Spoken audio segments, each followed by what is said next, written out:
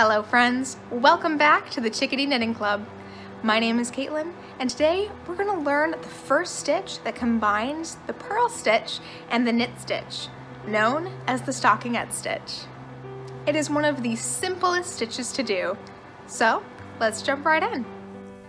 Alright, it's time to learn the stockinette stitch. This is the perfect stitch to practice both the knit stitch and the purl stitch. The word stockinette means little stocking. This is a sock.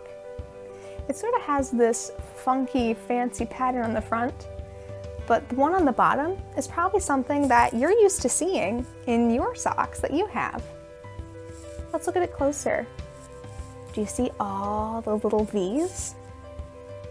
Let's turn it inside out.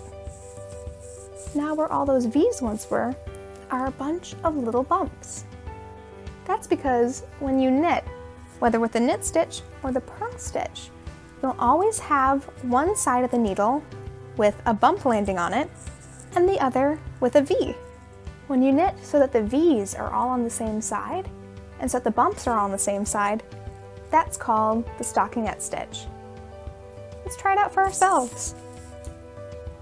Here we have our two needles with our stitches that we've casted on. You can cast on as many stitches as you like, but for practice, I always recommend casting on as many stitches as years old you are.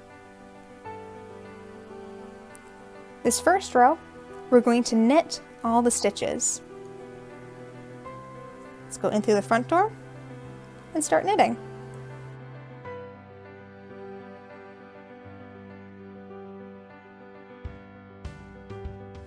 In our last stitch.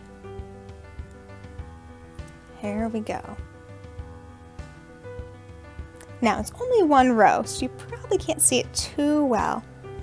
But there's all these little baby letter V's on the front of the needle.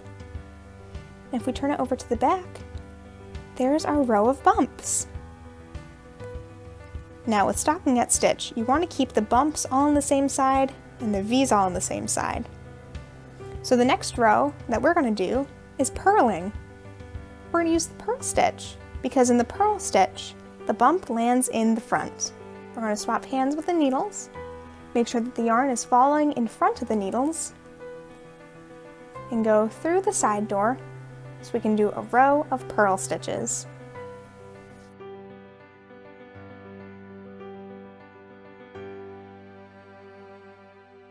And our last stitch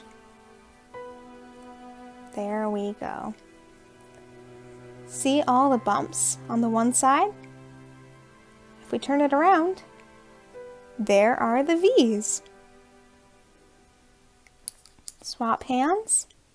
Make sure that the, not the tiniest tail, but the long tail is coming from behind the needles and knit another row.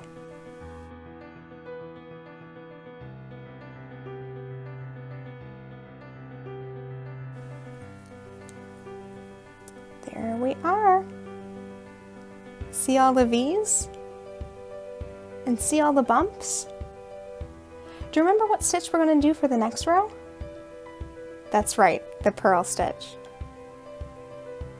And remember for the purl stitch, we always have the long tail in front of the needles.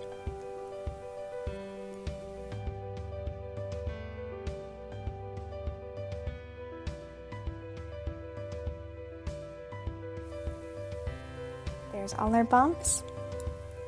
And there are all our V's.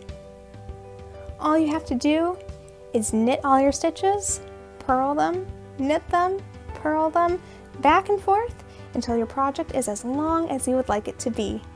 And there you have it, the stockinette stitch.